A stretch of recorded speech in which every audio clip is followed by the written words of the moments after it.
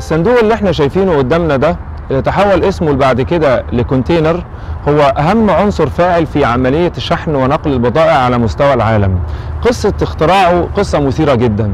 سائق الشاحنة الأمريكي مالكوم ماكلين سنة 1937 وهو بينقل البضائع بتاعته على العربية فكان بياخد لقى انه نفسه إنه بياخد وقت كتير جدا من تفريغ الصناديق على الأرض ثم العمال ياخدوها صندوق صندوق ويطلعوها على ظهر المركب ونفس طريقة التفريغ.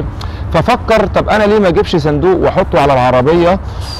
وأحمل العربية بالصندوق وأحطها على ظهر المركب بالصناديق اللي فيها وبعدين تنزل العربية تاني على نفس مينا التفريغ بعد كده.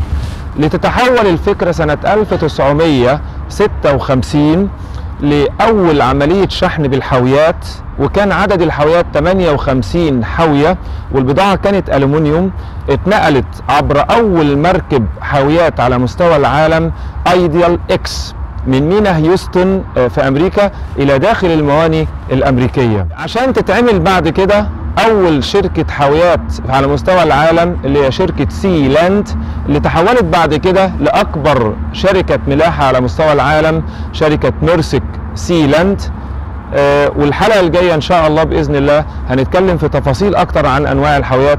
أشوفكم في الحلقة الجاية القادمة إن شاء الله بإذن الله ودمتم على خير.